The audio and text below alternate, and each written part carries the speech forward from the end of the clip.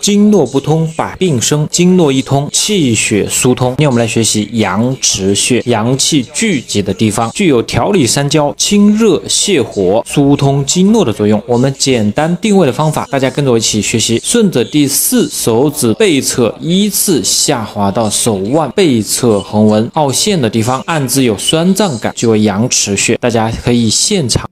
更多详细穴位请点头像看完整视频。